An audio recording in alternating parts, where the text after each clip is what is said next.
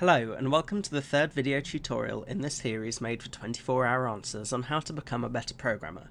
This time we'll be focusing on how to control the flow and execution in a function in C and C++, but most of what we'll be looking at, and certainly the underlying concepts, apply to any programming language.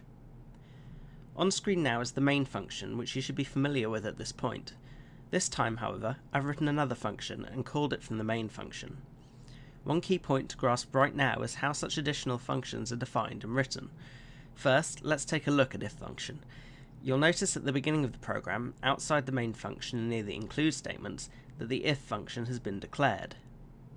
This acts as a hint to the compiler to tell it that this particular file contains this function. The hint in question is known as the function's signature, and these signatures specify three key things.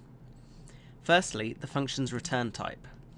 Our if function returns no information and so the type is void. You can compare this to the main function, which returns a type int, which you may remember represents an error code. Functions in C can return any variable type or data structure, which we'll cover later, and in C++ this even extends further to include objects. With the exception of C++ constructors and destructors, again don't worry about this for now, functions must always have a return type or void specified when your function returns a type, you can use that function as part of a variable assignment. For example, if a function returns type int, you might write a line of code like this commented line here. When the program runs, the function will be called to find the return type, and then that value will be assigned to the variable. Secondly, in the function signature is the function name. Like variables, you may name a function with any combination of letters, numbers and underscores, so long as you don't begin the name with a number. The function name is how you will reference your function elsewhere in the program. As a piece of good practice advice, make sure your function names are descriptive, but not overly so. Ideally, a person should be able to tell what a function does just by reading the name. The final part of the function signature is the list of variables in brackets that the function takes. You specify the type of each variable and then a name for that variable, such as in the main function. In our case, we have no variable for our if function, so we simply leave the brackets empty. If you had specified variables, however, you would be able to use them throughout your function just by writing the variable name, as if you had declared them locally. The function itself demonstrates a set of simple if statements. The purpose of an if statement is to create a conditional fork in your program. As the programmer, you provide a condition such as whether two variables are the same, and a block of code to be executed if that condition is true. If the condition is false, you can also include an else clause to your if statement, which will be executed in that case. That's what's happening here. The if statement reads if 1 equals 1, which of course it must, and so the statement in the brackets of the if block will be executed. The bracket in the else blocks, however, will not be executed as the code stands.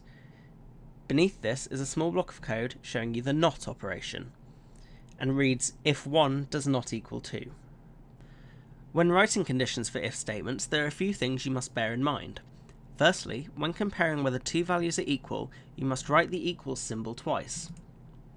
The reason for this is that, as we have previously seen, a single equals is used for a variable assignment.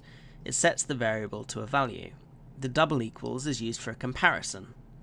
I don't want to confuse you too much at this point, but suffice to say it's a big and difficult to notice error if you accidentally use a single equals in an if statement. What will in fact happen is the assignment you have written would take place. Furthermore, the logical value of this assignment would resolve to true. As a result, after the variable assignment, the code following your if condition would be executed. In short, take care to use double equals in logical conditions such as this.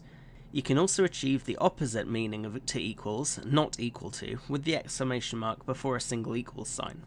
Similarly, you can make use of greater than or less than symbols, although you only need one, and even place these before single equals signs to produce greater than or equal to and less than or equal to statements. The next part to notice is that you can chain these conditions together with AND or OR statements. Right here we have an AND statement, the double ampersand. Again, make sure you use 2 rather than 1, which has a different meaning. Whilst I don't want to dive too far into Boolean logic at this point in the series, suffice to say that AND statements are checked from the leftmost to the rightmost. If any of these statements fails or is false, the program stops checking the rest of the statement. Thus, if we rewrote this to read if 1 does not equal 1 and 1 does not equal 2, the second part, 1 doesn't equal 2, would never even be checked, as it obviously cannot be the case that 1 does not equal 1. Furthermore, we can write an OR statement by using two of these pipe symbols. In this case, both statements would be checked before the if statement was resolved, thus modifying the last example, if 1 equals 1 or 1 equals 2 would resolve to true, even though 1 and 2 aren't the same. You can actually construct complex statements using brackets and this law. Two conditions, each comprised of AND statements, can be joined together via an OR statement, and so on. You should try modifying statements to get a feel for how this logic works, as understanding it is really one of the most important skills in programming, and it remains largely language agnostic. By and large, that's the crux of the matter when it comes to functions and if statements. What you should do is try modifying the if else statements and extending them yourself, adding new variables, and if you're feeling ambitious, try this.